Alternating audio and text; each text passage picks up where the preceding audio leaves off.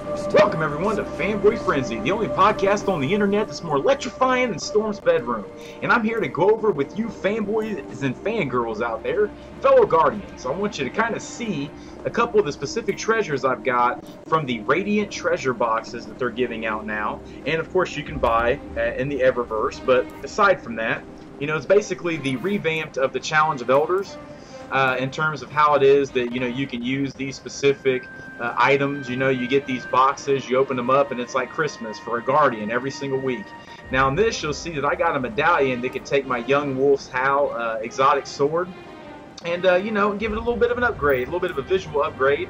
Uh, you'll also see that, I mean, I've even gotten a couple of emotes earlier, uh, but I think that just seeing that new upgraded version of the Howl uh, is a very interesting little tweak to that specific unit. I'm getting ready to open up another one now, and you'll see I got another specific uh, exotic uh, as well. So, you know, I'm really excited with what we've been able to get. Uh, stay tuned for more Destiny news.